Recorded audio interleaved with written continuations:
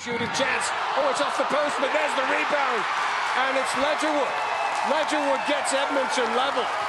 Ameobi's shot coming off the upright, and Ledgerwood couldn't really miss the rebound, and it's 1-1. Uh, it was as easy as a goal. I think Ledgerwood's going to score, and but it got set up. Ameobi's left wide open the box. He sets himself up, has a go, rips a shot off the goalpost.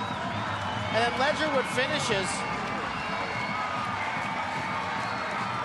Puts it in, and I tell you, there was a chance there for, for the Cosmos maybe to clear off the line, but Ledgerwood put it right through the Cosmos defender. And we see Lucky Mkosana is about to come in for Yasmani Duke. But yeah, well done by Ameobi, and then through the legs. But Ledgerwood 1-1, and we talked about the Cosmos not taking advantage of their chances. And just a minute before, Duke has a full-on breakaway.